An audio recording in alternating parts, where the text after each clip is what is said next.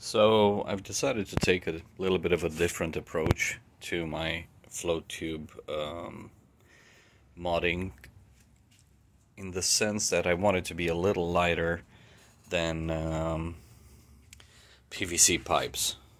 So what I did here is I added Scotty glue-on pads. So this is a glue-on pad right here that's about um, $5. Then you have this mount that locks is $9. Then I have this, it's a rod holder, they call it I think a rocket launcher, I think it's $8. So uh, basically just press the button underneath and it comes it comes out of here. I put a PVC pipe in between so I have two of these. So basically this whole part comes up. So Scotty rocket launcher, Scotty rocket launcher. This is a CE PVC 1 inch pipe between them with the bolts and nuts here, just drill through. Okay, so how do we mount it? Clicked in, clicked in, and that's it. That is it. Then you press the button on the bottom, take it out, take it out. And that's it. Half the weight of a PVC rod holder. It's a little more expensive. These are not Scotty, these rod holders. I don't remember what it was. I just got them on Amazon, and this is a obviously a phone. Um, I'm using that phone as a depth reader with my deeper and fish finder. Um, here I have a battery that is powering my redneck trolling motor. So you can see as another YouTuber did, I got the, the idea from him. I changed the apron with this little tray. I put the spacers in there and just a little bit of a support for this um, for this paddle, drill paddle. I made it myself, I didn't buy it. Uh, the, the propeller is very cheap. I got a quarter inch um, steel rod from Lowe's. This is like an electric clamp or something. And basically because of this support, you can move it and it's actually pushing the boat instead of you holding that. But the drill, the problem is that the drill, the, the MOSFET that's in the trigger, the, the variable speed will burn, burn. It's not meant to be used for a long time. Well, I mean, not even 10 minutes, 5 minutes, so it'll burn quickly. So what I did, I replaced the trigger. This is a forward, it's a polarity reverse switch. So I put it in there instead of the trigger. And this is part of a speed regulator. And we are coming back to this.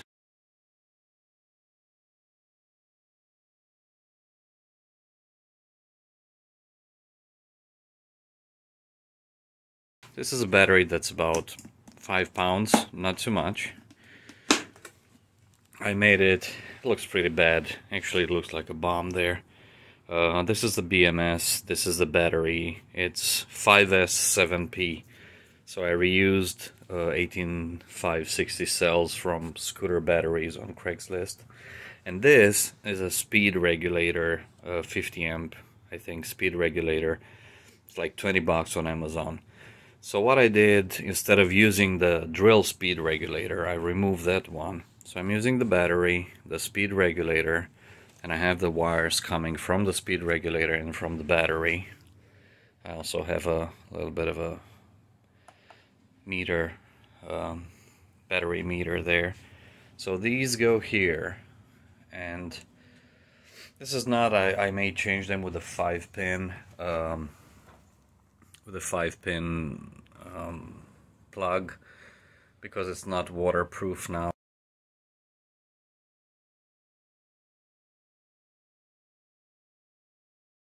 Or I'll find a solution for that.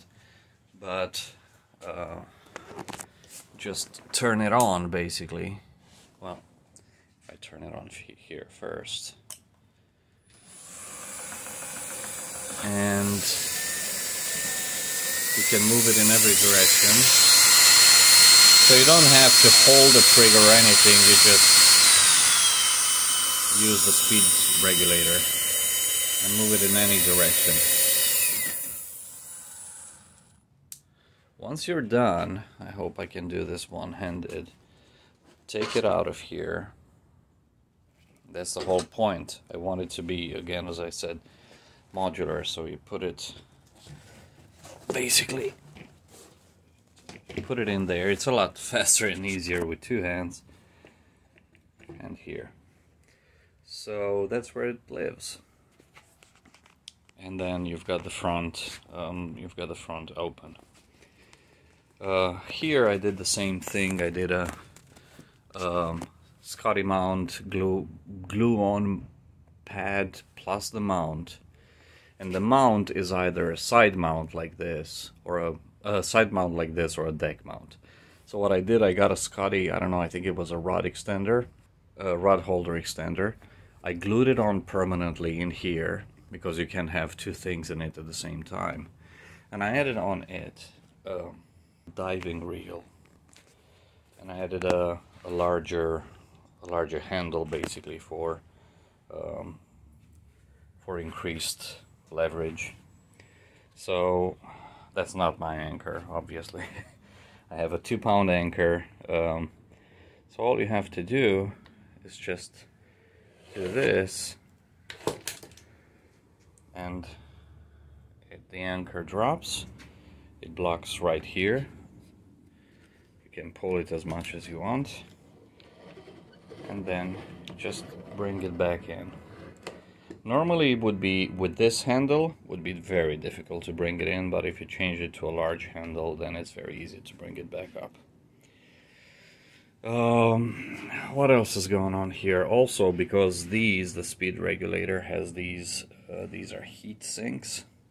MOSFETs that are getting hot, I put a fan in here that I connected uh, basically to the motor output um, and it it goes with the speed of the motor. The higher the speed of the motor, the, the higher the fan. So if I'm not using the drill, the fan is not uh, on. It's just a simple connection. So basically when I'm done, I calculated about, it takes me about 15 minutes to put this all together and 15 minutes to take it off. So when I'm done, I remove this this unfortunately stays on the boat all the time, which impacts folding a little bit. So I remove this, then I remove this nut and take off the battery, disconnect the battery from the drill, disconnect the drill from the pedal. Um, and then I remove the one mount, two mounts, uh, remove this whole thing from here, just lift it up, press the buttons and lift it up and that's it and remove the, the tray. So it takes me about 10 minutes to remove everything and deflate the boat and put it back in the car 10 to 15 minutes. So yeah um, it's a little more expensive. You spend some money on this but it's definitely lighter and you don't have anything hanging under the boat. You don't have any straps. You just click the rod holder in these I'm not even using it. Maybe for a net if I'm gonna take a net I'm not even using then the, the um, um, original rod holders that I'm using basically as lateral supports for the for this pipe. Um, this is how I put the battery to make sure it doesn't go through the through the seat. And the important part is I put on the back of the seat a solid piece of PVC just from Lowe's PVC sheet I don't know five dollars or something like that just to give support for that battery hanging there in the back. Well I hope this is helpful and yeah that's it. So for a clearer view these are the individual parts. We're talking about the tray the tray also has one of these uh, fish rulers that I glue on it. This is the the rod holder, the main support. As you can see, these parts on the bottom click in the mounts on the board, on the boat. That's the drill pedal, and the drill, um, the battery, and then you have anchor mount and two rod holders. If I go back here to the boat, this I can't remove unless I unscrew this mount from the glue-on pad, which is too much trouble, so I just leave it there.